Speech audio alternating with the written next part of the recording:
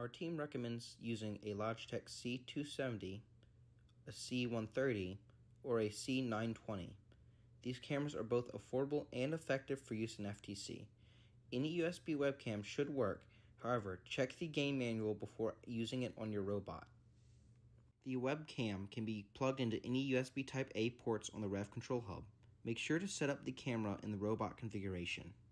After opening your robot configuration, scan for the webcam. It should be set automatically as webcam 1. Make sure this corresponds to the name of the code. After this is done, save the robot configuration. Once you've got your bot set up and configured, you can go to the top left and create new op mode. Name it whatever you want. And then you want to go to sample. And then you'll want to pick concept April tag. Do not pick concept April tag easy, just the regular concept April tag. And then click OK. Now the concept April tag sample pretty much has everything set up for you already. Make sure you scroll down though to this line here. Webcam named, you want to set this to whatever your webcam is called in the configuration. In my case, it's webcam 1. If this isn't set properly, then your webcam will not be detected and the code will not work. This should be set by default for you, but make sure it's correct because I've had it happen where it just isn't set to the correct webcam before. And make sure that the built-in camera direction is set to back. This is what's worked the most for me, but if you are having some troubles with it, you can try setting it to front. But for the most part, set this to back. Now, all this code down here is responsible for showing the telemetry data on the side of your screen when you run the program. This code technically isn't required, but there's also not really any reason to get rid of it since it can give you some useful data when you're actually programming what to do when your robot sees a certain April tag. To actually get the bot to do something with this April tag data, you just scroll on down and let's grab a quick if statement. Just put it right here. So we will once uh, to detect the ID of the April tag. Each April tag has their own like ID tied to them. And you can see what the ID of an April tag is by just running the program and looking for this in the telemetry. You can actually just copy this over.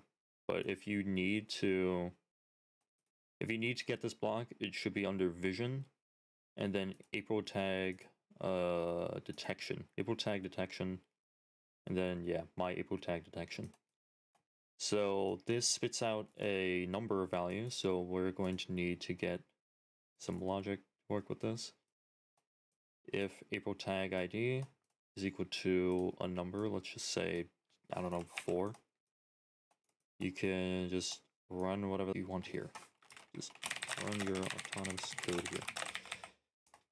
Now, one of the massive advantages to using April tags is that since your robot can detect where the April tag is, you can use the position of the April tag relative to your bot to be able to position your own bot. So all of the positional blocks for the April tags are also in April tag detection. A lot of this you don't really need to worry about. All of the stuff in here that's already been made especially these three like positional values, but also the rotational values. Those are all very useful to detect where your bot is on the field.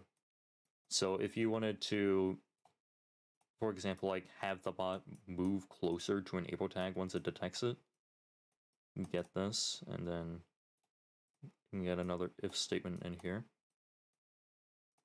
So let's say you want the robot to get closer to it, so Let's say, let's say it's a z value. Now, of course, this doesn't take into consideration rotation. You could, but you could always just go to here and detect rotation from there relative to the robot. Let's say you want the robot to get closer.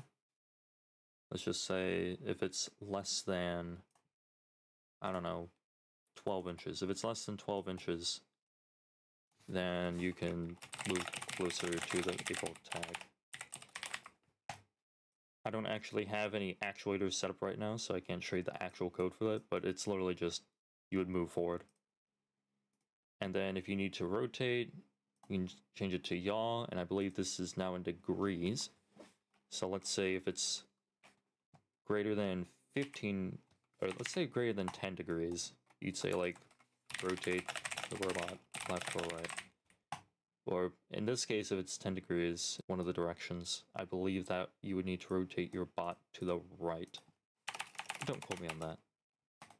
So that's how you actually use the positional data of the April tags to uh, have your autonomous function. If you try to start the program and you get an error along the lines of unable to find webcam and then the webcam name with a given serial number, then that means the configuration is either like just too old or it's not set up properly.